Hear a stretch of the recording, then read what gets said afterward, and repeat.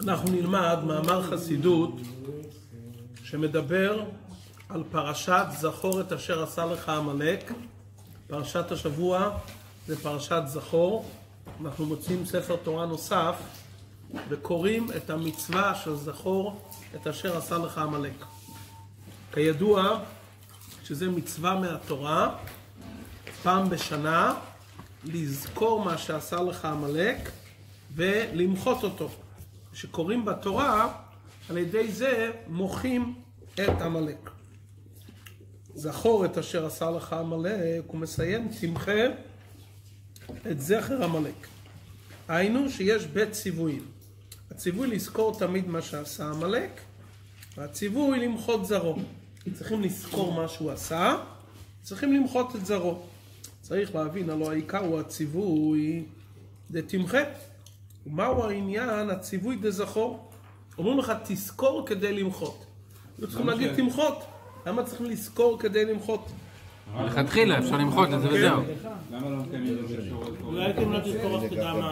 עוד רגע, עוד רגע, נלמד במאמר, רק רגע, רק רגע. ומה גם שהעניין דזכור אינו בא כהכנה לציווי דתמחה, אלא הוא ציווי בפני עצמו. שהרי במניין המצוות נמנו בית ציוויים. זכור את אשר עשה לך, תמחה את זכר עמלק. כלומר, יש פה ציווי בפני עצמו גם לזכור את עמלק, וגם למחות את זרע עמלק.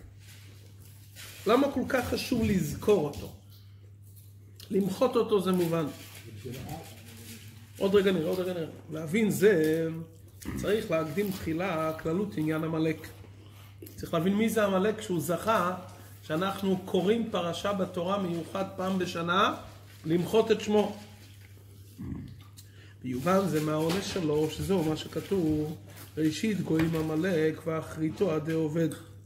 היינו שבשאר האומות כתיב, אה, זה פה חלם עם שפה ברורה, לעובדו כולו שכם אחד. שיהיה אצלם עניין של בירור. שאין כן בעמלק כתיב, ראשית גויים עמלק ואחריתו עדי עובד. שלא יתברר, אלא יהיה בו עניין של מחייה ושבירה לגמרי. לעתיד לבוא ביהודי הגאולה כתוב שכל העמים וכל האומות יבואו לעבוד את השם ונערו אליו כל הגויים. על עמלק כתוב ראשית גויים עמלק ואחריתו עדי עובד. כלומר עמלק יושמד לחלוטין. למה עמלק לא זוכה להיות חלק מהגילוי של הגאולה? כל אומות העולם אנחנו אומרים שיבואו ויקיימו שבע מצוות בני נוח ויעזרו לעם ישראל, הם יהיו חלק מהתהליך. אותו אנחנו לא רוצים להכיר. אבל אותו אנחנו לא רוצים להכיר, אנחנו אומרים ראשית גויים עמלק ואחריתו עדי עובד, מוחים אותו לחלוטין. אין בו מידות. יש עניין משהו. צריך להבין את זה. יש לכאורה בו ניצוץ, כמו שאתה שואל אברהם. יש בו לכאורה ניצוץ, אז למה אי אפשר לשתף אותו גם ב... בתהליך של הגאולה? זאת אומרת שלעמלק יש איזה משהו מאוד מאוד שלילי והרסני, שאנחנו לא מוכנים להתחבר אליו לגמרי. שהפסוק אומר, ראשית גויים עמלק ואחריתו עדי עובד. אנחנו פוחדים שזה ישפיע עלינו? אנחנו לא פוחדים מכלום. לא, אז באיזה עניין אנחנו... לא פוחדים מכלום. פוחדים שישפיע עלינו. מי יכול להשפיע עלינו? חוץ מהשם אחד. השפיע עלינו. פוחדים הרב, יכול שישפיע עלינו. להתגייר, אני זוכר משהו כזה, לא? עוד זה. מחלוקת, זה מחלוקת. בלם, מחלוקת. עוד מעט נראה. הוא יכול להתגייר, עוד מעט נראה. לא, שאלתי שאלה שהיא לא לגיטימית. לא לגיטימית, בטח לא לגיטימית. מה, אנחנו חיים בעולם של פחד מגויים? הם הם מכבדים אותנו, אנחנו מפחדים מהם. אז יש בעמלק איזה עניין מיוחד של ראשית גויים עמלק. מה העניין של עמלק שיש לו ראשית ואחרית? כמו שבקדושה יש ראשית ואחרית, גם בעמלק יש עניין של ראשית ואחרית. נראה בסעיף ג' בעמוד הבא, פרק ג', פרק ג'. איור החילוק שבין עמלק שאר האומות, כפי שהוא בעניין העבודה, דין ידוע שזין האומות, זין המידות הרעות, שהם המקור לעניין העבירות.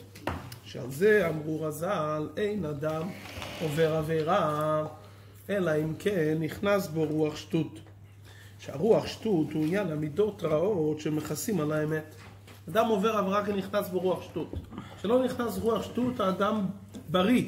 או שאדם נכנס ברוח שטות, מביא אותו לעבירה. אז כל המידות רעות שמכסות על האמת, באות מרוח שטות. ויש בזה כמה פרטים, דהיינו, שיש מי שבא לעניין העבירה בעמוד הבא, מצד זה שנדמה לו, עמוד 89, מצד זה שנדמה לו שעודנו ביהדותו, ואינו נעשה נפרד. אבל אילו היה יודע את האמת כמו שהוא, שעל ידי העבירה נעשה נפרד, אזי לא היה עושה זאת בשום אופן. יש אדם שלא מבין שבמעשה העבירה הוא מתנתק מהשם. כמו שאדם לוקח סיגריה, והוא לא מבין שהסיגריה מפריעה לו, הוא אומר לו, זה רק עוזר לי. אם הוא היה מודע שזה מזיק לו, היה מרגיש את זה, הוא לא היה לוקח את זה. כיוון שהוא לא מרגיש. אז זה הרוח שטות הראשונה שאומרת לאדם, אתה נשאר יהודי שלם, בין אם עברת עבירה, בין אם לא עברת עבירה, אתה יהודי שלם, לא קרה כלום. לא בגלל שעברת עבירה, לכן נלקח משהו מהיהדות שלך. זה הרוח שטות הראשונה. זאת אומרת, זה מוציא מהאדם, אתה רוצה להגיד לי, בגלל שאני לא נזהר במצווה הזו כבר, משהו נשחק מהיהודי שבתוכי? מה פתאום, אתה נשאר יהודי שלם. הוא מביא ראיות. ישראל אף על פי שחטא ישראל, ויהודי הוא תמיד חלק אלוקם ממעל ממש. אז הוא אומר לאדם, לא קרה שום דבר. זה הרוח שטות הראשונה. וכמאמר אדמו"ר הזקן, העיד ניטר ואילו ניטר קון, ורנה ניפות אלוקות. אדמו"ר הזקן אמר, יהודי לא רוצה ולא יכול להיפרד מאלוקות, ואם כן, אילו היה יודע שעל ידי העבירה נעשה נפרד, כפי שהוא באמת לא היה בא לידי עבירה, אלא שזה מצד הרוח שטות שמכסה על האמת. אם הוא היה מודע והיה לו ברור שכרגע הוא מנתק חבל ההתקשרות שלו עם השם, הוא לא עובר את העבירה. אבל יצר אומר לו, לא, לא קרה שום דבר. זה דרגה ראשונה של רוח שטות. יש מי שהרוח שטות אצלו הוא למטה מזה, שחושב שאין איש רואה אותו, ואין שום אדם יודע מזה. כמאמר הז"ל, שאדם עובר עבירה אומר שלא יראני אדם, בצד הרוח שטות, ערובה לידי תאוות בדברים המותרים. ועד תאוות בלתי רצויים, ועד שנופל בתאוות בדברים האסורים ממש, שבא לעשות ענייני עבירה בדברים ותאוות כאלו, שאינם לפי מהותו לגמרי. יש רוח שטות פחות מזה, יותר גרוע. הוא אומר, תשמע, זה באמת בעיה, אבל אף אחד לא רואה אותי, אז מילא. אתה ראשון אומר, יש ביני לבין הקדוש ברוך הוא. אני לא חושב שהקדוש ברוך הוא מתעצבן מזה. אני לא חושב שזה גורם מגמת נפש למעלה. תעזוב, זה לא... זה הרוח שטות בדרגה הראשונה. רוח שטות בדרגה השנייה, הוא לא חושב על הקדוש ברוך הוא כל כך. לא אבל רואים. לא רואים אותי. אז אם לא רואים, זה הרי לא מבחן אם רואים או לא רואים, זה לא מבחן לעשות או לא לעשות. אם הדבר הוא טוב, תעשה אותו אם רואים או לא רואים. אם הדבר הוא לא טוב, אז גם שלא רואים, אל תעשה אותו. אבל רוח שטות ככה שהאנשים מאוד מאוד מתרשמים ממה שמסתכלים עליהם. כמו שאמר רבי יוחנן בן זכאי לתלמידיו, שאדם עובר עבירה, הוא אומר, העיקר שלא רואים אותי. כי האדם חי בעולם והוא מאוד מושפע מהסביבה. אז הרוח שטות אומר לאדם, תשמע, לא רואים אותך, אתה יכול לעשות מה שאתה רוצה. אז בהתחלה הוא נופל בדברים המותרים, ומזה הוא יכול ליפול אחר כך גם בדברים שהם לגמרי לא מתאימים לו, דברים האסורים. דהיינו, שמצד מהותו ושכלו, כפי שאינו מעובר מהתאווה, אין לו שייכות עליהם כלל. אלא שהרוח, שטות והתאווה מבלבלים מהותו. בעניין הבלבול הוא שמהפכים את מהותו ושכלו, שנעשה מהות אחר. להיות נלהב ולהוט הוא מושקע בתאוות כאלו, שמצד עצמו לא היה שייך אליהם כלל. מביא לפה אבל שלוש. כלומר, שלוש הגדרות. כלומר, האדם פתאום מגיע לכזה מעמד ומצב, שלמרות שהוא אדם שכלי, אם תדבר איתו מתי שהוא רגוע, תדבר איתו מתי שהראש שלו עובד ערני, אמרת לו, אני אעשה את זה? לא מתאים, זה אסור. לא מתאים לי בתור אדם, לא מתאים לי בתור יהודי, לא מתאים לי בתור חסיד וכולי וכולי. אתה מדבר איתו ברגעים שהוא שקול ויש לו מוח שליט על הלב, והוא לא עומד מול איזה תאווה, הוא מסביר לך בפירוש שזה לא טוב, יודע. הוא יודע וגם מסביר, הוא מסביר לך למה זה לא טוב. אבל, כשהוא עומד מול התאווה, והוא נפל לתוך התאווה בעקבות שהוא התיר לעצמו כל מיני דברים, אז התאווה מעוורת אותו, שהוא לא מצליח לחשוב חשיבה בריאה ונכונה. במילים פשוטות, הוא נהיה שיכור, ושיכור לא יכול לדבר בצורה מאוזנת ונכונה. זאת אומרת, איך איך? התאווה יותר חזקה מהשכל. כן, אבל הוא הגיע לתאווה כזאתי, הוא פתח פתח. זאת אומרת, אם הוא היה שומר על עצמו לכדי להגיד, שמע, זה אני לא עושה, אז הוא לא מגיע לכאלו תאוות. תאווה מגיעה כשאתה פתחת פתח ואמרת, זה לא מפריע לקדוש ברוך הוא. אז פתחת פתח. פתחת פתח, אמרת גם זה לא מפריע. ואז כשאתה מגיע כבר לאותו מקום שאתה יודע שכבר לא, אין לך אז כבר אפשרות להגיד שאתה יודע או לא יודע, אתה כבר שיכור. אבל הגעת לשכרות כתוצאה שברגעים הראשונים אמרת, זה לא מפריע לי בהתחברות להשם. זאת אומרת, התחלה הנקודה יצר אומר, אני צריך לשכנע את הבן אדם שהנקודה הזאת היא לא גורמת לו להיות פחות יהודי. אני צריך לשכנע אותו על זה. עבר זמן, התרגלת, עובר עוד זמן, הוא משכנע אותך על עוד דבר. אחרי שהוא שכנע אותך ועובר זמן, אז מביא אותך לכזה מצב. זה כמו שאדם נמצא כבר וקופץ מהגג. עכשיו, הוא קופץ מהגג, הוא קודם עלה לגג. ואחר כך הלך לקראת שפת הגג. ואחר כך הוא בדק את המרחק. ואחר כך פתאום הוא מגיע לכזה מצב שהוא כבר עומד חצי בחוץ, ואז הוא כבר לא יכול לחזור אחורה. אבל היה צריך למנוע את זה מלכתחילה. אל תעלה לכזה גובה ואל תציץ החוצה. ולכן חכמינו דיברו הרבה סייגים, כי הסייגים באים לומר לאדם, תשמור על עצמך שלא תגיע למקום כזה שתהיה שיכור, ואז תאמר, אני כבר לא יכול לעמוד מול זה. ואתה צודק.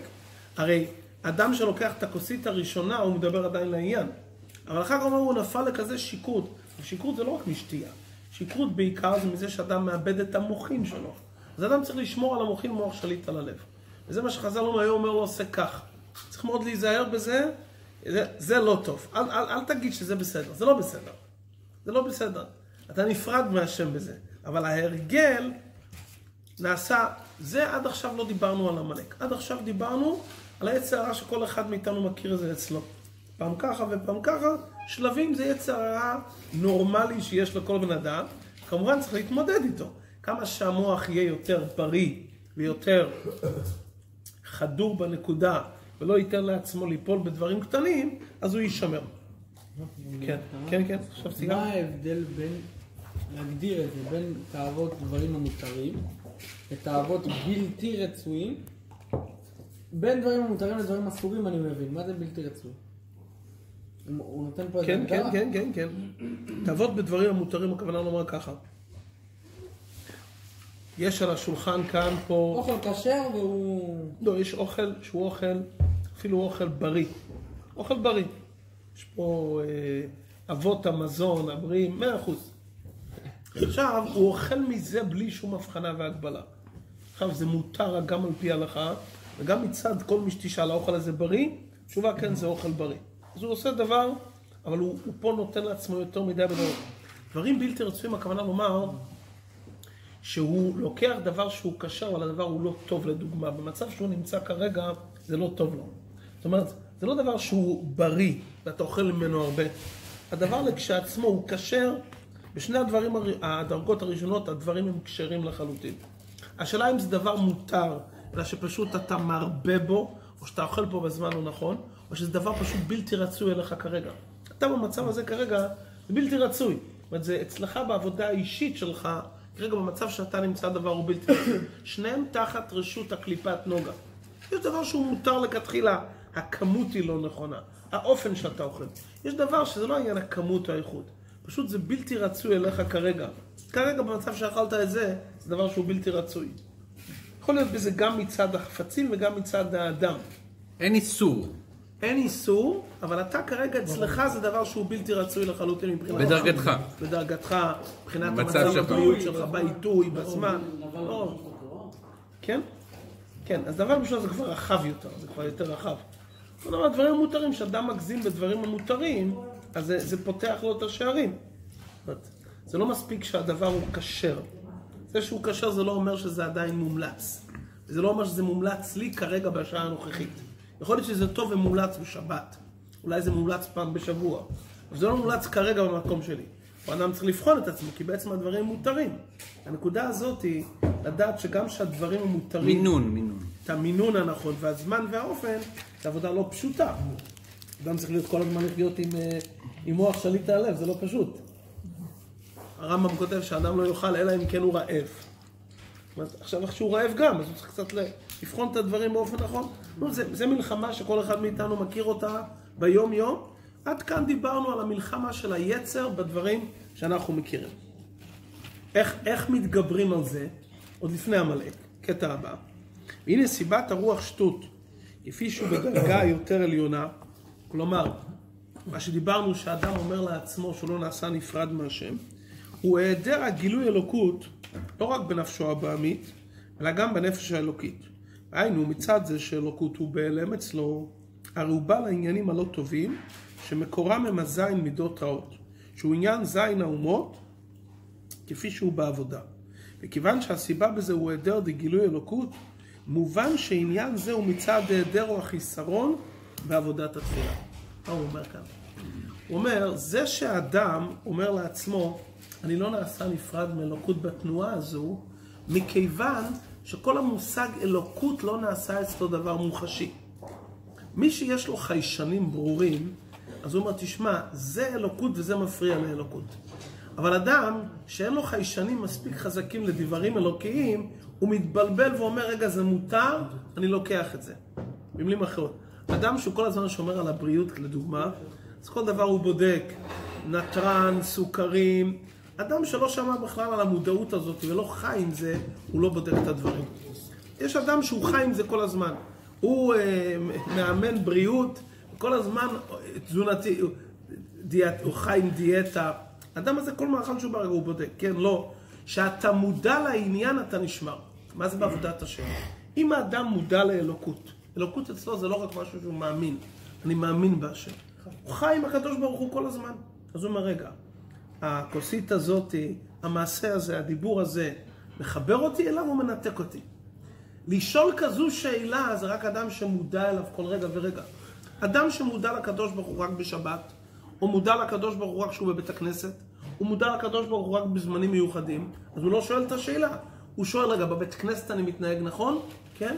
אני נכנס בזמן, לא מדבר בבית הכנסת. כשאני בבית כנסת אני מודע אליו, אני לא מתנתק ממנו. מה הבעיה? שכשהוא יוצא מבית הכנסת הוא לא מודע כי הוא כבר סיים את הקשר שלו עם הבורא. אז ממילא, אם המאכל הוא כשר, אני אוכל אותו. אבל אם הוא היה מודע לקדוש ברוך הוא כל שנייה ושנייה, אז הוא היה שואל את עצמו, רגע, אבל התאווה הזאת היא גם מנתקת אותי. זה גם מנתק אותי ממני. אז כמו שאדם הוא בריא, הוא אומר, תשמע, אני לא רק שומר לעצמי בזמני הארוחות, או מתי שאני נמצא מול הדיאטטני שנותן לי מה לאכול. אני כל הזמן חי עם זה, כי נכנסתי לתנועה של תזונה בריאה, אין אצלי פיסוסים. כל הזמן אני חושב, כן, לא, לא, כן. אני בודק על כל דבר ודבר. אז הרב אומר, זה שהאדם אומר לעצמו שהמעשה הזה הוא לא נפרד מאלוקות, זה מכיוון שהוא בכלל לא מודע לחיות עם אלוקות כל רגע ורגע. עכשיו זה עוד פעם, זה עבודה. להיות כזה מודע, אני כרגע איתו או לא איתו. זה עוזר לי להתקשר איתו או לא עוזר להתקשר. אז כמובן יש ברמה שאדם נזהר על כל, כל מעשה הכי קטן. אבל כל פעם אדם יכול להיות, תשמע, המעשה הזה, הקשר הזה, אני כרגע לא, לא רעב. לא, סתם זה מיותר. התאווה הזאת היא כרגע מיותרת. אבל כל זה אם הוא יהיה מודע לאלוקות. אז מתי הזמן של מודעות לאלוקות? זמן התפילה. בזמן התפילה, אדם צריך להחדיר לעצמו מודעות לאלוקות, והמודעות הזאת צריכה ללוות אותו במשך כל היום, שאז אחר כך, כל היום הוא ישאל את עצמו, המעשה הזה מנתק אותי או מחבר אותי? זאת אומרת, אין רגע ביום שאתה יכול להגיד אני יושב על הגדר. או שאני מתחבר איתו או שאני מתנתק. אבל לשאול את השאלה אם אני מתנפק או מתחבר, זה רק מי שמכניס מודעות בעניין. אדם שלא בעניין אמר, תשמע, זה כשר? זה כשר, זה גמרנו, מה אתה שואל אותי שאלות? הוא לא שואל את עצמו ילדי זה מתחבר או מתנתק. רבי קורא לזה בלשון החסידות, היעדר עבודת התפילה. כי מה, זה, מה ההבדל בין תפילה לעבודת התפילה? תפילה זה לומר את המילים ולרשום וי. עבודת התפילה זה להחדיר בתוכי את התודעה שאני חי איתו כל רגע ורגע. כל המילים בתפילה באים לגרום לאדם שהוא יחיה עם הקדוש ברוך הוא כל היום. אם הקדוש ברוך הוא נותן לבהמות ומצמיח כל דבר, אתה זה אדם כל רגע ורגע אומר, השם נמצא איתי כל רגע ורגע, והוא מחיה אותי. אז הוא שואל את עצמו כל הזמן, אני לא רוצה להתנתק ממנו. אז נהפך אצלו המושג של חיבור והתנתקות.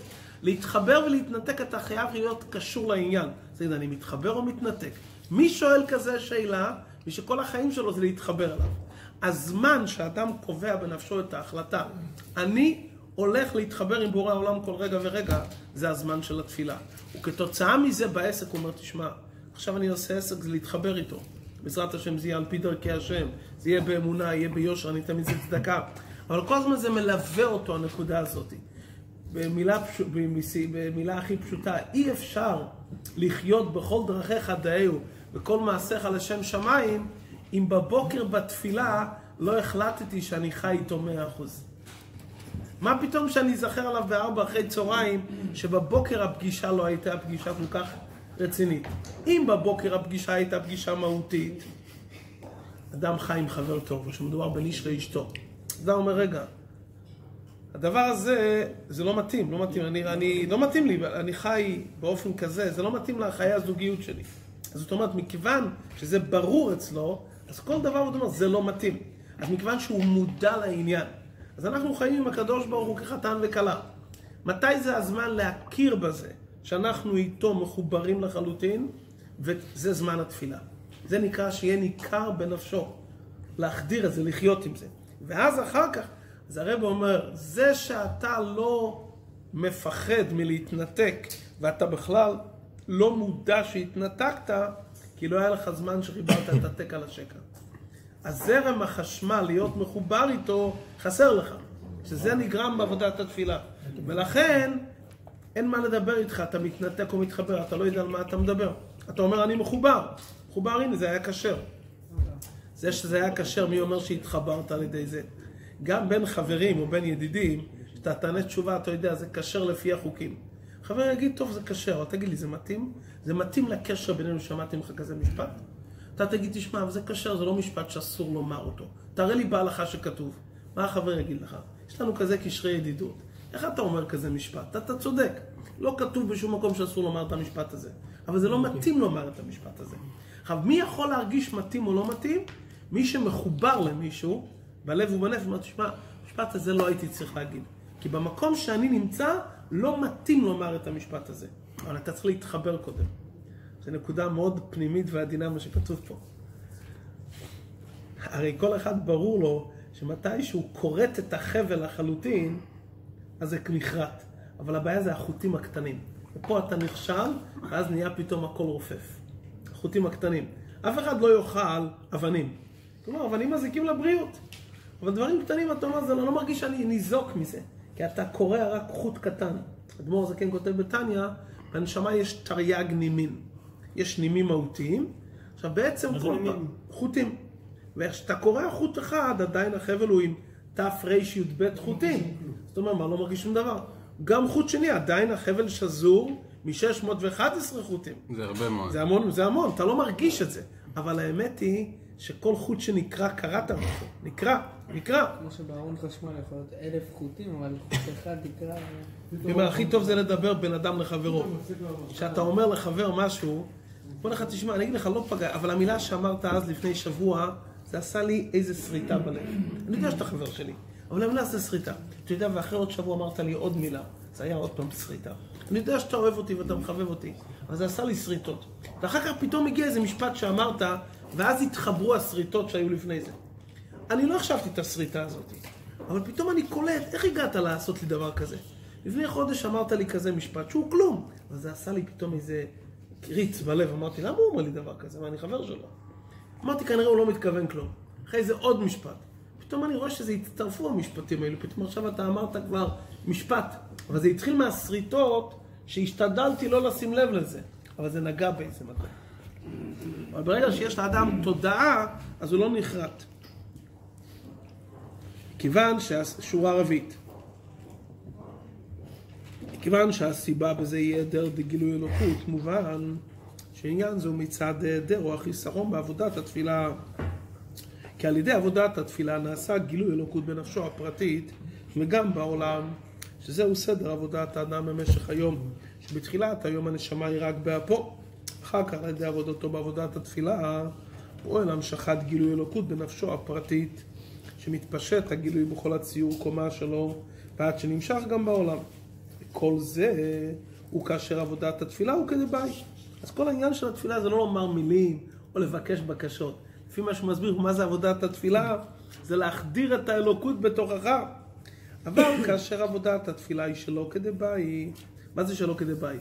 לא שהוא לא מתפלל במניין, לא שהוא לא אומר את המילים. לא כמו שצריך. התפילה זה לא, אני לא חי עם זה. אזי לא נעשה אצלו גילוי אלוקות. זאת אומרת, בחסידות תפילה שווה גילוי אלוקות. מה זה גילוי אלוקות? מודעות שאני איתו כל הזמן.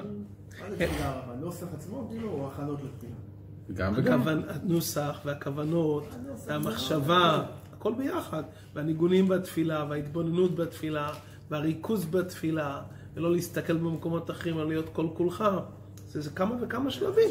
ההכנות גם זה... גם ההכנה, ודאי, הכנה גם חשובה. ודאי, החסידים הראשונים היו שוהים שעה לפני התפילה, לימוד החסידות, טבילה במקווה, צדקה לפני התפילה. איך היה אבל זה. זמן שכתוב חסידים הראשונים היו שוהים? מה הכוונה? איך הם היו מה היו שוהים? היו מה- לומדים חסידות, היו לומדים תמיד לפני התפילה. מה הכוונה? זה הכוונה, תראה במפרשים. וטבילה. אחר כך טבילה. טבילה, קודם תפילה. לימוד לא, זה חסידות וצדקה. זה שלוש ההכנות שהאדמו"ר הזה כן אומר, שזה הכנה ראויה לתפילה. אתה נותן צדקה, זה שם אומר, צריך לרחם עליו, לעזור לו להרגיש, טובל אז הוא מטהר להשם, ולימוד פנימיות התורה מרומם את האדם, מכשיר אותו להיות מחובר יותר לעניין. אלא, מה זה אלוקות ובהלם? בעמוד הבא. מצד ההלם בא רוח שטות המביאו לזין המידות הרעות, שהוא עניין זין האומות, שם השורש ענייני העבירות. כיוון שהסיבה לזה היא היעדר גילוי אלוקות מובן, שאפשר להיות בזה התיקון בדרך בירור. על ידי המשכת גילוי אלוקות, והיינו שעבודת התפילה היא כדבעי, שעל ידי זה פועל הגילוי אלוקות בנפשו. במילא נעשה הבירור בזין האומות, שבזין המידות הרעות. וכל זה הוא רק בזין המידות הרעות, שסיבתם היא היעדר גילוי אלוקות, לכן על ידי המשכת גילוי אלוקות פועל בהם הבירור. עד אחר עכשיו דיברנו על המידות הרעות שמתעוררות אצל האדם כתוצאה מהיעדר גילוי אלוקות בתפילה. אחרי שהסברנו את זה נבין מה זה עמלק. מה שדיברנו עכשיו זה לא עמלק, זה יצר הרע שמגיע כל השנה כולה, מגיע כל יום ועובד איתנו כל הזמן. חלק מהחיים. חלק מהחיים שצריך כל הזמן לעמוד על. המשמר ולהתמודד מוח איתו. שליט על הלב. מוח שליט על הלב. באיזשהו מקום שלא מתנהלים בצורה הזאת של הצורה של התפילה, מה שלמדנו עכשיו, מזמין את עמלק. כן, אתה מזמין את היצר הרע, דבר ראשון, מזמין את הזין מידות הרעות, ואחר כך עוד משהו יותר גרוע. קודם אתה מזמין את היצר הרע שדיברנו. אמנם, יש קליפה תחתונה יותר, שבה אי אפשר להיות התיקון בדרך בירור, והיא קליפת עמלק, שעניינו הוא שיודע את ריבונו ומכוון למרוד בו. שעניין זה אינו מצד היעדר גילוי אלוקות, שהרי הוא יודע את ריבונו, והיינו שאלוקות אצלו בגילוי, ואף על פי כן מתכוון למרוד בו, שזהו עניין של התנסות וחוצפה ללא טעם, מלכותא בלא תגה, מלכות בלי כתר. בעניין זה אי אפשר להיות התיקון בדרך בירור על ידי המשכת גילוי אלוקות. וכיוון שיודע את ריבונו ומכל מקום מכוון למרוד בו, אם כן, מה יועיל המשכת גילוי אלוקות? אלא תיקון קליפה זו בדרך עקירה וביטול, ששבירתן דווקא היא תקנתן. זהו מה שנאמר בעמלק אחריתו עדי עובד, תמחה את זכר עמלק, שהוא עניין העקירה והשבירה לגמרי. עמלק זה משהו הרבה יותר גרוע. הוא אומר, תשמע, אני למדתי, אני יודע, שמעתי הרבה דברים. אבל בכל אופן, לא משנה, מי יודע, שמעתי, מכיר את ההרצאה הזאת, מכיר את הרעיון הזה, מכיר את זה, שמעתי את הדברים האלה, אתה לא מחדש לי. הייתי גם בשיעורי מוסר, הייתי גם בשיעורי דרוש, הייתי גם בשיעורי... זאת אני מכיר את הנושאים האלו, מכיר את המנהגים, אני מכיר את הדרך וההכוונה. ובכל זאת, אני החלטתי שאני לא מתפעל מזה. זה לא מדבר עליי. זה לא מדבר עליי, אני מחליט. זה חוצפה. אם האדם לא יודע את הדברים מספיק, הוא אומר, תשמע, בוא נלמד יותר, בוא נלמד יותר. יש מי לברר. אמר, אמר, תשמע, אני יודע ומבין. זה כמו שאתה מדבר עם מישהו ואתה רואה שלא בדעת ידבר. אתה רואה, תשמע, אתה, אתה אומר לו משהו טיעון שכלי, אתה שומע ממנו תשובה לא לעניין, כי הוא החליט לריב איתך. הוא החליט, הוא לא רוצה להתייחס אליך, זה לא יעזור. אתה אומר לו עוד טיעון ועוד טיעון, אין, אין עם מי לדבר. אתה יכול לדבר עם אדם שעובד על פי שכל, והשכל לא מספיק שלם. אתה נותן לו עוד אור ועוד עומק, ולאט לאט אתה משפר אותו. אבל אם אדם יודע, ולמרות שהוא יודע, הוא אומר, זה לא מעניין אותי, אני יודע, ואני בכל אופן רוצה להישאר איתך. הוא אומר, אני החלטתי להתחצף אליו. אני החלטתי לא לתת לו מקום, אני החלטתי לשבור אותו. זה עמלק, זה קליפה מאוד. קשה לך, לכן כזה קליפה אתה לא יכול לברר. בירור הכוונה לומר שאני מדבר איתו דיון, פותח את הדיון, מדברים. לפעמים אתה ניגש לדיון ואתה יודע, אין עם מי לדבר, כי הוא החליט שכל מה שאני אומר, הוא יגיד לא. הוא ימצא את המילים, אבל אצלו יש החלטה אחת, שהוא אומר לא על כל מה שאני אומר. אז מכיוון שהוא אומר לא, זאת אומרת, הוא מחליט על לא. זה הקליפת עמלק, וזו הקליפה המאוד קשה. איך זה נכנס במילים עמלק? המילים עמלק מלשון מלק, מלק. מליקה עושים בראש. זאת אומרת ככה, הראש עובד. הראש מבין. אבל הוא אומר, תעשה נתק בין הראש ללב. תמלוק, תעשה הפרדה בין הראש ללב. אתה יכול ללמוד ולהבין, אבל תחליט, אל תוריד את זה ללב ולא תעשה פה. תבוא לכל השיעורים, אבל תחליט, אתה לא הולך להשתנות. אתה עושה החלטה בנפש, זה נקרא, יודע את ריבונו ומכוון למרוד בו. מה, איך מתגברים על עמלק? זה דרך. אפיקורס? כאילו... אה, משהו כזה, אבל זה, זה כל אחד מאיתנו יכול להיות ברגעים מסוימים, שאתה אומר, אני, לא, אני מחליט לא להשתנות. אני יודע, אני בא, אני מחליט לא להשתנות. אדם צריך להגיד, תשמע, אני כל הזמן רוצה להשתנות לטובה. אולי היצרה יבלבל אותי, אבל אני רוצה להשתנות. אדם אומר, אני מחליט שכמה שנלמד, אני לא עושה את השינוי הזה. תשכח, זה אף פעם לא יקרה אצלי. איך אתה יכול להגיד דבר כזה? אולי ייפתח לך המוחין ותראה בזה כן. הוא אומר, לא, אני אפילו אם ייפתח לי המוחין, אני מחליט את זה, אני לא עושה. זה קורה הרבה פעמים גם בוויכוחים בין אנשים. גם אני כשאתה אוחז בדעה שלי, לא משנה אני- מה הוא אומר. אני אוחז בדעה ש... מאיפה זה מגיע? לא, למה המולק יש לו כזה עניין, כזה חוצפן? מה, מה... מה זה הקליפה? של עמלק, זה הקליפה של עמלק. זה הקליפה. תפילין זה בא נגד עמלק, הוא מחבר בין המוח ללב. נכון? יש, הרב אומר בסוף המאמר שהם מניחים תפילין מהודרות עם סופר ירי שמיים שכתב אותם ובודקים אותם מפעם לפעם ומגיעים אותם, אז זה סגולה שעמלק פחות יגיע. ככה הרב סגולה כותב למה? שעמלק פחות יבוא. כי עמלק עומד לך בין המוח ללב. ותפילין, כשירות, מהודרות, זהירות בעניין של תפילין, זה בא לחבר את המוח והלב, לא לנתק בין המוח והלב. אה, אבל זה לא היה צריך לכאורה להגיע אחרי מתן תורה. לא. אחרי מתן תורה, שעם ישראל קיבלו את התורה, עמלק כבר לא יכול להגיע. הוא יכול להגיע ברגעים שאתה בין מצרים למתן תורה. הוא תופס אותך ברגעים כאלו שאתה עדיין לא חי לגמרי עם הקדוש ברוך הוא, כי עדיין לא שמעת את התורה. ראית ניסים, אבל אתה אומר, תשמע, ניסים חולף, עובר. כשאדם לומד תורה וחי עם פנימיות התורה, הוא משתנה במוחין. יותר קשה לעמלק לקרר אותו. אבל כשהוא תופס אותך ברגע של תפר, היה לך ניסים. הוא אומר, תשמע, אתה בדרך, בסדר, היה נס, בסדר, אז מה קרה שהיה נס? אז אז הוא מצליח לקרר את האדם. הרי בכל... נכון, יפה, בדיוק. כי מי שנמצא בתוך ענני הכבוד, מי שמחובר למשה רבינו, עמלק לא יכול לגעת בו. עמלק נוגע לאותם אלו שהוא מרגיש שהם מתנדנדים, ספקות. ולא להיות בספקות זה לא פשוט. להיות בוודאות מוחלטת זה עבודה לא פשוטה. זה ודאות רוגע פנימי בפנים. אני במקום הנכון עושה את השליחות שלי, אין לי שום ספק בעניין, במאת האחוזים. סעיף ד' ד', והנה קליפת עמלק. רגע, אתה רוצה להגיד ספר? והנה קליפת עמלק בעבודה בנפש האדם הוא עניין הקרירות. כמו שכתוב אשר קרחה, שפועל בו עניין הקרירות שלא יתפעל משום דבר. עמלק מקרר אותו. והיינו שגם שמראים מלמעלה דבר פלא, שהוא עניין גילוי אלוקות למטה, הנה עניינו של עמלק הוא לקרר ולהכחיש ולומר שאינו כן. תשמע, זה סטטיסטיקה, זה צירוף מקרים, מה אתה מתפעל, היה פה איזה נס? תמיד יש דברים שיוצאים מדרך הטבע, לא שמעת, תפתח, תפתח כל ספרי המחקר. 80 אחוז זה לא מצליח, 20 אחוז כן, אתה היית מה-20 אחוז האלו. בסדר, אבל זה, זה לא שזה פעם אחת בהיסטוריה דרה והר קרה כזה, דברים כאלו קורים, מה אתה יוצא מתפעל? כאשר אינו יכול להכחישו לגמרי, אזי מתחכם לקררו ולומר שאין זה פלא על כל פנים. איך?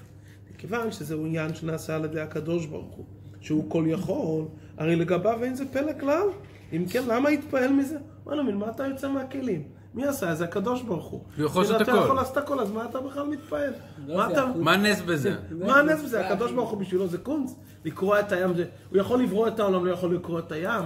לאדם לא היה ילדים כמה שנים, פתאום יש ילדים. מה, מה? להוליד ילדים אתה מבין שהוא יכול. אז אחרי עשר שנים, חמש שנים הוא יכול. מה, מה אתה מתפעל מזה? הקדוש ברוך הוא כל יכול. הוא אומר לך דבר אמיתי, אבל מה הכוונה שלו בינתיים? בשביל לקרר. לקרר אותך. צריך תמיד להיזהר. כשמישהו אומר משהו, גם אם הוא אומר דבר נכון, צריך לבדוק מה הכוונה. הוא בא לקרר או לחמם בעבודת השם. אתה יכול להגיד דבר שהוא נכון, הוא צודק, הקדוש ברוך הוא כל יכול, ומכיוון שהוא כל יכול, אין הבדל אצלו בריאת שמיים וארץ, קריאת ים סוף, כל נס בידיו, הכל זה כלום בשבילו. מול האינסוף. כל פעולה ממשית. זה במגבלה. ודאי. אם, אם, אם לא תגיד ככה אתה כופר. אז מבחינתו באמת שאין שום הבדל. אבל זה שהוא בא באמצעות הטיעון האמיתי הזה, לקרר אותך מההתפעלות והרגש שאתה חווית וראית בעיניך, על בשרך או בעיניך ראית איזה גילוי אלוקות. אומר, תשמע, הקדוש ברוך הוא עזר לי פה באופן לא רגיל. זה קליפת עמלק, הוא מקרר. לכן כתוב אשר קרך, הוא בא לקרר. כידוע שעמלק בגימטריה ספק. איך הוא מכניס ספקות? קודם מקרר, מקרר. אומר, אל תיקח את העניינים כל כך בפשטות, זה לא בדיוק ככה, יש כאלו רבנים, יש כאלו רבנים. כל דבר שאתה אומר לו, שמעת? אתה אומר, יש רבנים שאומרים אחרת. מיד, תמיד אומר שמי לסמוך. הוא דבר שמעתי, שמעתי שיש כזה מנהג. הוא מראה לך בכל דבר את הצד השני, העיקר לקרר אותך. אז הרב באיזשהו מקום הערבים קשורים לזה שהם ראו את הכל, מעמד של- קדוש ברוך הוא, והם כאילו מנותקים מזה? מי, מי? הערבים. איזה. ערבים? מה הם ראו? עמלקים לא ראו שום דבר. עמלקים הגיעו בין יציאת מצרים למתן תורה. עמלק זה סוג של קליפה, שאומרת לאדם, למרות שאתה ראית, למרות ששמעת, למרות שחווית, זה הכל פנימי. זה בתוך האדם, בתוך האדם, זה קליפת עמלק, זה בתוך האדם. הרב לא מדבר פה כרגע על עמלק, על העם. מדבר מה העם הזה משדר בתוך המוח והלב שלנו. למה באמת יש עמלק שהוא עמלק כזה ועמלק שהוא העם?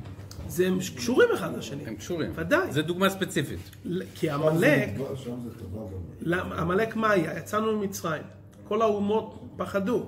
הוא אמר, לא אכפת לי, אני אכווה ויענישו אותי ואני אפול בקרב, אבל העיקר להוריד את האפקט של ההתפעלות מעם ישראל. זה מה שהוא עשה. אז הוא אמר, אני הולך על כל הקופה. ואני יודע שאני אפסיד. מאה אחוז. אחרי שכזאת כן, תקופה של כן, פרעה הורידו כן. כן, כן. הוא אומר, לא אכפת לי, אני תמות נפשי עם פליטים. לא, הוא גם ידע שהוא יפסיד. כן, לא. אבל אמר העיקר לקרר, לקרר את ההתלהבות, תמוגו כל יושבי כנען, לקרר, כן?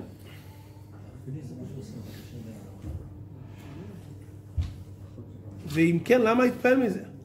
ואם הפלא בדבר הוא מוחשי כל כך, שאינו יכול לקרר גם את הפלא שבדבר, אזי מקררו לעשות הסכם בנפשו, שהפלא לא יפעול בו התפעלות. ואם זה כזה מצב, שכבר, זה מצב שממש אי אפשר לא להתפעל, אז המלאק אומר, תשמע, תשמע לי, אל תלך להתוועדות הזאת ואל תלך לשיעור הזה, אם כן תח, תעשה הסכמה, החלטה, שאתה לא משתנה לפני זה. כי אם אתה לא תעשה את ההחלטה, תדע שבסוף זה יתפוס אותך. אז הוא אומר, תעשה החלטה לפני זה, בנפש שאתה הולך, אבל אנחנו הולכים על מנת רק לשאול שאלות, רק לקנטר, רק זה, כדי לא להיות מושפעים מזה. ומכל שכן, וגם כאשר מוכרח שהפלא בדבר יפעל בו התפעלות, אזי מקררו לעשות הסכם והחלטה שההתפעלות לא תפעל עליו לשנות את הנהגתו. ומכל שכן לשנות מהותו. עמוד הבא, וזהו עניין קליפת עמלק. שהגם שיודע את ריבונו, היינו שיש אצלו גילוי אלוקות, מכל מקום הרי הוא מתייגע, הוא מכוון למרוד בו. הוא מתייגע על זה. העיקר, על ידי זה שפועל עניין של קרירות. בלי הבט על כך שעל פי השכל צריך להיות אצלו עניין של התפעלות כאשר רואה דבר פלא. והנה, הגם שהאמת היא שלגבי הקדוש ברוך הוא אין זה דבר פלא, כמו שכתוב לו עושה נפלאות עושה פלא. היינו שלגבי הקדוש ברוך הוא, הנה כל הנפלאות הן רק מבחינת עשייה בלבד. מכל מקום, כיוון שלגבי האדם הרי זה פלא, צריך הדבר לפעול בו התפעלות. ומה שלגבי הקדוש ברוך הוא אין זה דבר פלא, לא צריך להיות סתירה ומניעה להתפעלות האדם. מה זה משנה? זה שאצל הקדוש ברוך הוא זה לא פלא, מה זה קשור איתך? אבל אתה ראית פה נס. אז נכון שמבחינתו זה לא משנה. כמו שאנו רואים בשני בני אדם, שיש דבר שאצל אחד אינו פלא, ואילו אצל השני הרי זה פלא. הנה מה שאין זה פלא לגבי חברו אינו סתירה ומניעה לפעול בו התפעלות הראויה, כיוון שאצלו הרי זה פלא.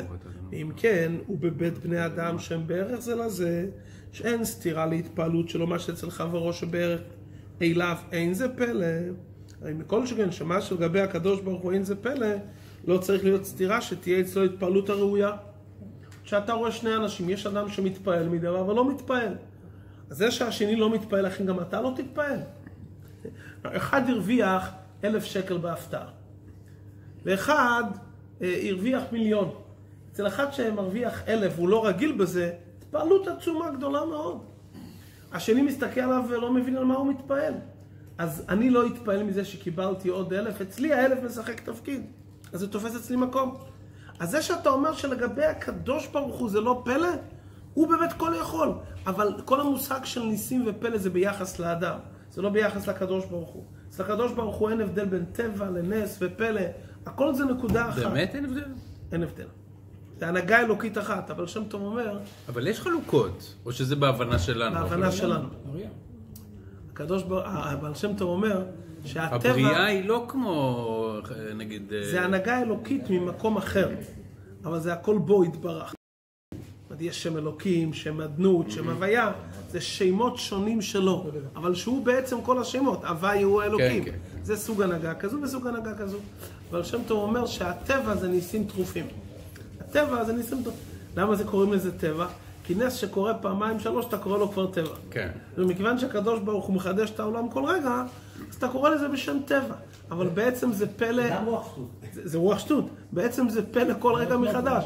שאדם נושם, הוא עובד, המכונה עובדת, זה הכל נס. אבל מכיוון שזה נדמה לו שזה אוטומט, וזה חוזר כל שנייה עד רגע שפתאום יש איזו הפסקה, אז הוא אומר זה טבע. זה לא טבע, זה כל שנייה ניסים. זה לא ששמו לך בטריה והיא עובדת בדרך ממילא 80 שנה. גם השקיעה והזריחה זה לא אוטומט. בדיוק, כל דבר זה כל... אז בעצם זה עבודת השם. ומה שאין העניין, כן הרי זה מצד הקירות העמלק, שהוא עניין קליפת עמלק, שאף שראה את האותות והנפלאות שהיו ביציאת מצרים, מכל מקום לא נתפעל, יצא להילחם בישראל, זהו מצד ההתנסות ללא טעם בחוצפה גדולה. לכן אי אפשר להיות בו הבירור, לתיקון הוא בדרך שבירה דווקא. כמו שכתוב צא יילחם בעמלק, באופן דתמחה את זכר עמלק, כיוון שזה עניין של התנסות ללא טעם. מכיוון שעמלק מתנהג איתך בחוצפה, אז הדרך איתו זה לא לדבר ולהסביר. אין לך עם מי, צריך לשבור את זה. מכיוון שאדם שמתנהג חוצפה כזאת, אין אי אפשר לתת. זה מצוות למחות. זה למחות. כזה תנועה, קרירות, אל תתחיל לדבר איתו פילוסופיה. תגיד לו, אתה מקרר, אתה חוצפן, אתה לא רוצה אין לדבר. לי עניין איתך. אין לי עניין איתך. אני לא יכול לתקשר איתך. אני לא יכול לתקשר איתך מכיוון שאתה בעצם לא רוצה לשמוע דברים על פיתם ודעת. אתה לא רוצה לבוא לדיון אמיתי. אתה לכתחילה החלטת שלא. אנחנו רואים את זה הרבה פעמים. שאנשים נכנסים לדיון אחרי שהחליטו להכשיל את הדיון. וזה רואים איזה חדשים לבקרים. זה בכל מיני נושאים. הוא מתווכח איתך לא כי הוא רוצה לשמוע מה שאתה אומר. הוא מתווכח כדי להרוויח זמן, כדי לבזות אותך, כדי לבייש אותך. הוא לא בא, הוא בא לקרר ולהתחצף. זה קליפת עמלק. הרב, זה בעצם כמו יצר הרע. זה, זה, כן, אבל, כן, רגע, אבל כל הוורד כאן. במאמר זה להבין מה ההבדל בין יצר הרע של יום-יום ליצר הרע הזה. היצר הרע של יום-יום, הוא פשוט לא נותן לאדם להרגיש את הקדוש ברוך הוא, הוא נותן לאדם להרגיש יותר את העולם הזה. זה היצר הרע הנורמטיבי שכולם. זה יצר הרע בדרגה אחרת לחלוטין. שעם היצר הרגיל יש לך משא- יש לך משא ומתן. וצ- וצריך שיהיה משא ומתן. ביצר הרגיל, תגיד לו, תשמע, בוא נלמד מהמערכת הזאת, אחר כך בוא נדבר אחר כך. בוא נשמע איזה שיחה של רב, בוא נדבר אחר כך. אבל עם היצר הרע הזה שאומר לך, תשמע, אני חוצפן, אני לא מוכלל, מה שתגיד לי, הוא אומר לך בתוכו, זה לא משנה שום דבר. אני לא אשמע ולא אקשיב. הוא מתחצף לכל מה שיהיה. זאת אומרת, הוא לא בא לדבר איתך משא ומתן, הוא לא בא ממקום של מוחין, לא ממקום שרוצה להתמודד. הוא פשוט חוצפן, חוצפן והתנסות בלי טעם ודעת. לכן העצה שלו, אז אם אנחנו נסכם מה למדנו, מה זה עמלק? עמלק, רק רגע, עמלק זה חוצפה בלי טעם ודעת, זה קרירות וזה הטלת ספקות. זה עמלק. כשאנחנו קוראים השבת בתורה פרשת זכור שזה מדאורייתא, ללכת לשמוע השבוע את פרשת זכור מדאורייתא, ויש אומרים שאפילו נשים, אבל גברים ודאי שזה מדאורייתא, אז מה אדם צריך לבקש מהקדוש ברוך הוא? יצר הרע רגיל לבקש מהשם תיקח לי אין כזה בקשה. תתמודד איתו, תתמודד. אבל עמלק, הכוונה, ריבונו של עולם, אני רוצה לשמוע את פרשת עמלק, ולבקש מהקדוש ברוך הוא, תן לי את החוצפה ההפוכה. אני לא מוכן לשמוע אותך. לא מוכן להתראה, אני יודע שאתה... יש דברים שצריך להיות בקבלת עול. ככה השם רוצה, לא מוכן להיכנס לדיון לזה. אני לא נכנס לדיון לזה. זה רצון השם, אין לי פה דיון. אתה רוצה לקרר אותי עם עניין של קדושה. אתה מסביר לי הסברים בפילוסופיה, אתה בא לקרר, להטיל ספקות. אם מישהו בא לקרר ולהטיל ספקות, אני לא רוצה לשמוע. אבל איך אתה יודע אם- להבדיל? זה לא כזה פשוט. פשוט, זה פשוט. תפתח נגיד את- ניקח את... תפתח את הרדיו, תפתח את הרדיו, מי שפותח, רחמנא ליצלן. אז שפותחים, יום הצדיקים פותחים רדיו. לא יודע, אני שפותחים, אתה שומע אדם מדבר, אתה רואה אדם מדבר, הוא אומר, באמת, שאלה תם, אני רוצה להבין את העניין, באמת, מה עומד מאחורי הדברים. פעם ראשונה הוא שואל שאלה, אחר כך הוא שואל שאלה שנייה, עוד פעם שאלה כביכול תם. אתה אתה רואה אחר כך בשאלה השלישית והרביעית שהוא שואל, הוא בכלל לא זה. הוא שואל שאלות ציניות כאלו, הוא בכלל לא הקשיב למה שדיברת, הוא רוצה להכשיל אותך, להשאיר אותך עם פה פתוח, להשאיר אותך מבויש.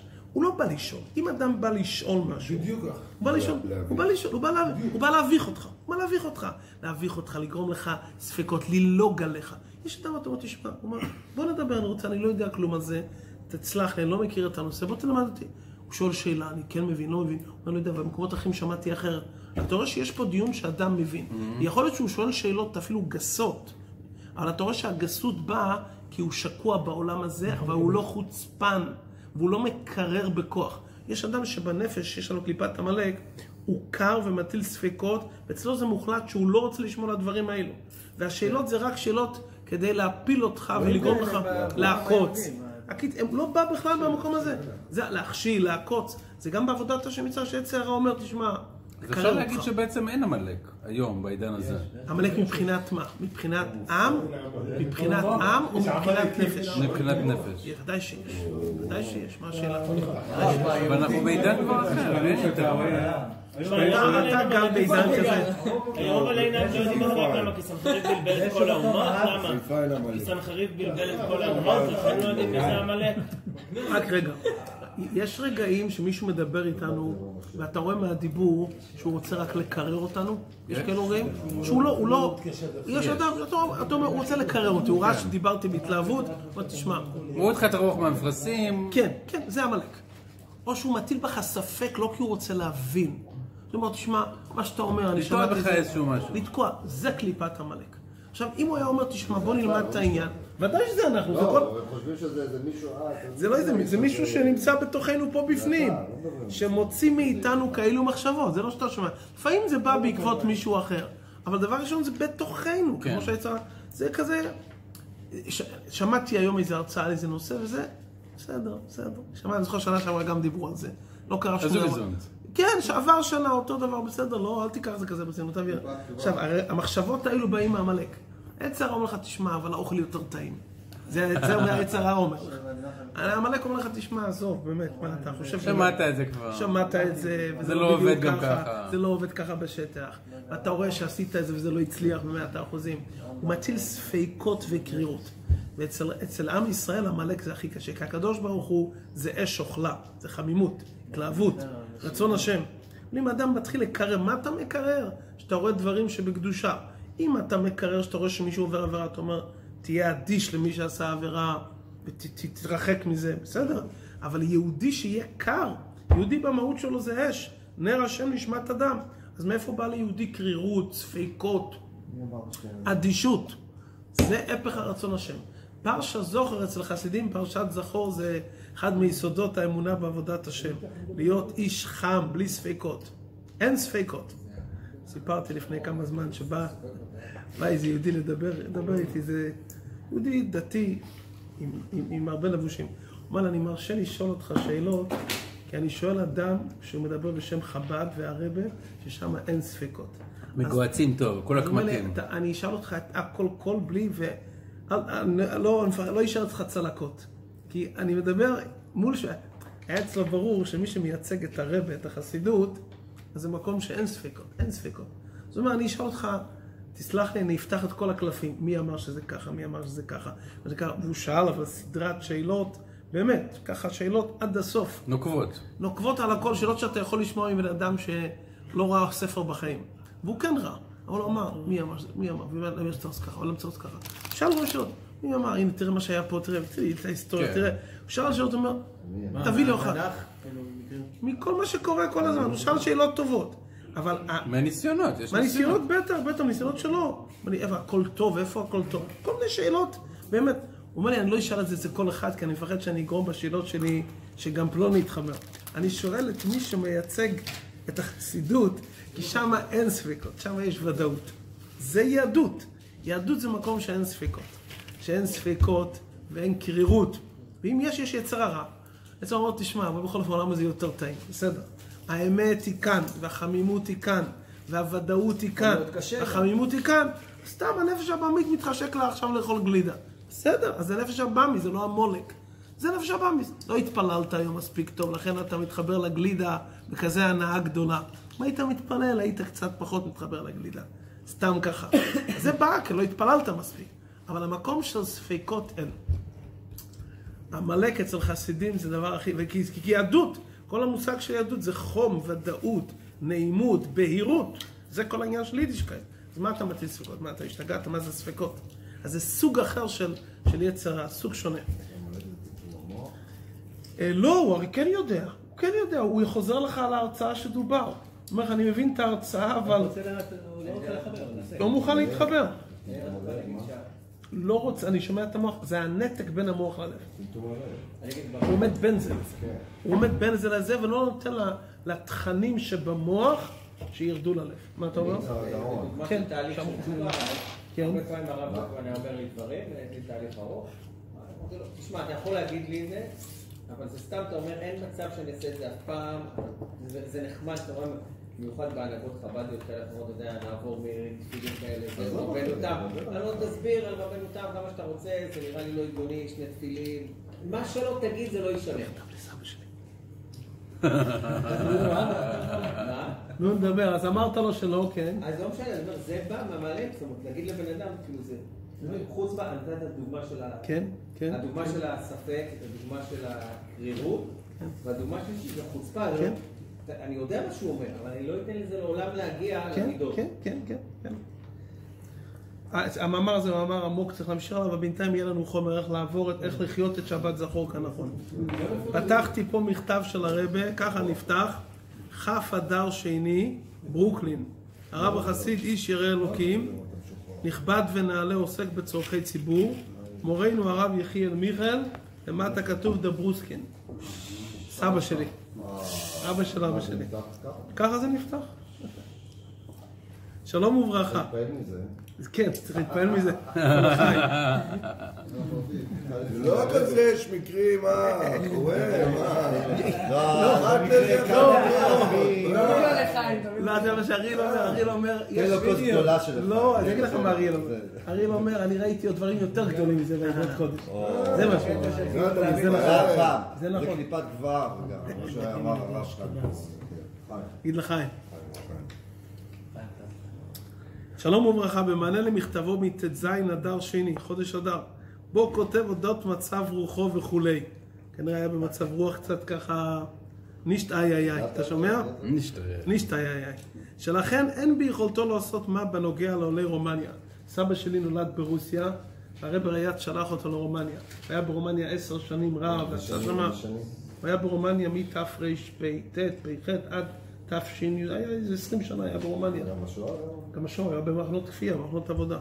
אני אספר סיפור עליו, במילה אחת. לפני כמה שנים נסעתי לעפולה, אחרי צהריים באיזה יום, אני זוכר, זה היה באיזה סיטואציה, מקבל טלפונים שברדיו מחפשים משפחת דוברוסקין.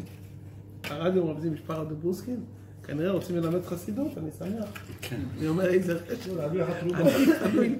אז הוא אומר, לא, יש תוכנית, מחפשים קרובים. מחפשים קרובים. אוקיי. מחפשים קרובים, אלי- אליצור, אליצור, אליאור, אני לא יודע. מחפשים קרובים בין ארבע לחמש. עד היום יש. מחפשים קרובים. אז עלתה- עלתה אישה על השידור ואמרה שהיא רוצה לחפש משפחת דוברוסקין. שאלו אותה למה משפחת דוברוסקין. היא אמרה ככה, אבא שלי נפטר לפני כמה שנים, שלוש, שנתיים, שלוש, והוא היה במחנות כפייה ברומניה. היה שם עוד יהודי שקראו לו הרב דוברוסקין מרומניה, ואבא שלי, אשתו והילדים היו בבית ולקחו אותו, והוא ראה שההורים שלו כבר לקחו אותם, והוא רצה לסיים את החיים.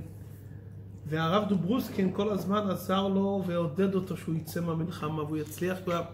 הוא אומר, הוא היה, לימד אותו איזה ניגון, ניגון, והניגון הזה תמיד כשהם היו במצוקה, ניגנו. ניגנו את הניגון הזה. הוא אומר, הוא היה קורא לי לשבתות לבית אליו אחרי זה, ובמלחמה היו זמן שהוציאו אותנו, אז הלכנו, וסיפרו באריכות. אז שאל אותה הכתב, את יכולה לשיר את השיר ששרו ביחד? אז היא אומרת, מה פירוש שאני יכולה לשיר? אנחנו כל שבת, מנגנים. אחרי הקידוש, כל הילדים מנגנים את הניגון הזה, וזה הסבא כי זה הניגון שתמיד היו מנגנים. איזה ניגון? ניגון, והם ניגנו אז היא, אז היא אמרה לה, את יכולה לנגן? אז היא אמרה, אני רוצה, הילדים גם יבואו. אז היא קראה לילדים שם בשידור, והם ניגנו שם, איזה ניגון? יש ניגון חסידי. אנא אלך מרוחך ואנא מפניך אברח. ניגון איי איי איי איי איי איי איי איי איי איי אם אשק שמיים אם אתה לא... אני, השם אומר אני נמצא איתך בכל מקום אתה למעלה אתה למטה אני איתך והוא קמ קל"ט והוא הוא ניגן איתו ניגון הזה אמר לו תדע אנחנו פה השם איתנו אתה עוד תצא והוא סיפר שהוא אומר כל שבת אצלנו בשולחן שבת כבר 40 שנה קבוע. קבוע, ליל שבת יום שבת נגיד אני הזה. אומרת, ואני לא יודעת, לא שאלתי את אבא איזה, אם נשאר, לא יודע אם הרב נשאר שם, השם ישמור או לא. ניצל, לא ניצל. ניצל, לא ניצל, לא יודע. אז בקיצור מתקשרים, אז פתאום מתקשרים אלינו שנתקשר. קיצור, התקשרו גם לאח שלי. התקשר בחזרה, הוא אמר, כן, אנחנו נכדים של... של ה... נפגשנו אחר כך עם האישה, עשינו מפגש, היא סיפרה, הראתה תמונה של אבא שלה. אז אה, הוא היה מרומניה. אז ה- הוא ניצל מהמחנה? הס- הסבא ניצל במחנה, כן. הגיע. אז הרבא אמר לו, בחיפה, היה רב בחיפה, חיפה היה המון יהודים מרומניה. אז הרבא אמר לו שכל הזמן התעסק עם יהודי רומניה, שם המון, מאוד אהבו אותו. אז כנראה הוא היה במצב רוח ככה, לא איי איי איי. אחת הסיבות שהוא היה במצב רוח לא היה, השם ישמור, נהר- נהר- נהרג לו בן על ידי מחבלים כאן בארץ. היה לו רק בן ובת, פדאין הרגו את הבן שלו בכפר חב"ד. לקחו אותו לפני יד החמישה, לקחו אותו והיה ילד מאוד מוכשר, היה ילד משפיע בתור בחור, הוא היה מוסר שיעורים, רבי כותב אחד מהתלמידים, תשט"ו, ט"ו. אז לקח אותו, היה, הוא היה בן מאוד מיוחד. וזה, אחד כתב, שמעתי שאחד מהתלמידים המצוינים, המצוינים נהרגו. וזה היה אבא, זה היה בן, היה לו בן אחד, בן אבא שהשם ישמע, אבא שלי היה, בן הוא- ובת. בן, בן אבא שלי שיהיה בריא ועוד בת. אז בן, זה היה בן הגדול. אז הוא היה תמיד, היה לו קשה מצב. הוא היה עושה כל היום בדיחות אבל. מישהו אמר לי, שהוא אמר לו, אתה יודע למה אני עושה כל היום בדיחות? כי אני צריך להפיק את המתח. הוא היה בטחן לא רגיל. איפה שהוא היה מגיע הוא היה עושה בדיחות, הוא היה רב חשוב. אבל מי שהיה לידו, מישהו סיפר היה- עמד לידו בהקפות. הוא אומר לי, רגע אחד לא יכולנו להחזיק את המכנסיים. אמר, היה לו על כל דבר סיפור, פתגם, אצל הרבי, אצל הרבי. הוא היה גם בחיפה. נו, הלאה. אז, אז הוא כותב לרבי שאין לו מצב רוח. חודש אדר, השם ישמור. זה אני אומר, הרבי לא אומר. והנה, באמת דברים אמורים, ואם יביט על הנ"ל כעניין של מעמסה ועבודה קשה. מה שאין כן כשיראה העניין לאמיתתו, שזהו עניין משמח, שיכול לפעול לטובה לכמה וכמה מבני ישראל, שגם בזה נאמר לו עליך המלאכה לגמור. אז בקל יוכל לעשות בזה כפי יכולתו, ובאופן דלאט לאט, והליכה מדרגה לדרגה מן הקל אל הפחות קל, באופן שלא יתייגע ביותר. בוודאי שהרופא המטפל בו, לא רק שיסכים על זה, אלא שגם יעודדו ויחזקו. וגם העבודה האמורה מביאה חיזוק בריאות הגוף כפשוטו, נוסף על שאר הוראות הרופא.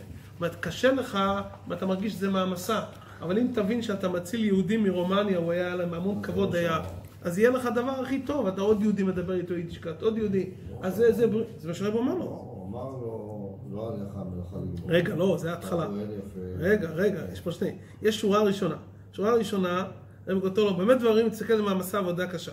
אבל שתראה שזה עניין שזה משמח, א', ודבר שני, לא עליך המלאכה לגמור, תעשה זה לאט לפי יכולות, תוריד לחץ מהעבודה, אז אז אתה תראה שהרופא יעודד אותך והכל. יעזור. לא, כי- אגב, זה לא להוריד לחץ מהעבודה, תמשיך בעבודה. תמשיך בעבודה. אבל אל תחשוב יותר מדי על התוצאות של העבודה שלך. לא היה לך מלאכה לגמור. מה שעשית, עשית. כן. יש קדוש ברוך הוא. יפה. אולי יש לי... וכיוון שנמצאים אנו בחודש אדר דמרבים בשמחה, ומשמח גאולה לגאולה מחודש אדר לניסן, גאולה מכל דברים המעכבים עבודת השם בשמחה ובטוב לבב, הנה יבשר טוב בכל העניינים. בברכה לבשורות טובות כבר. לעניות דעתי, עיקר המכתב, מה שאני לוקח מפה שני פרטים, שמבקשים ממך דבר, תלוי איך אתה ניגש לדבר. האם נתנו לך להרים שק של מיליון דולר ואתה לוקח את זה בתור זכות נפלאה, ואז הכל משתנה, או שכך זה נקודה ראשונה. נקודה שנייה, אתה לא צריך לעשות את הכל. מה שאתה יכול, עוד קצת, ועוד קצת, ועוד קצת, מה שאתה יכול. אתה לא צריך לעשות הכל, אבל מה שאתה יכול, תשתדל עוד קצת ועוד קצת, זה יהיה לך. שני נקודות חשובות. כל דבר שמציעים לך, רגע, זה מעמסה או שזה מתנה? מה הציעו לי פה? אם הציעו לי מעמסה, אני לא יכול לעשות את זה. אבל זה לא מעמסה, הציעו לך מתנה. אם הציעו לי מתנה, אני תופס בשני ידיים. האם אני יכול לתפוס את כל המתנות שמציעים לי? לא. אבל מה שאני יכול לאט לאט אני אעשה. תעשה עוד לאט ועוד לאט. לא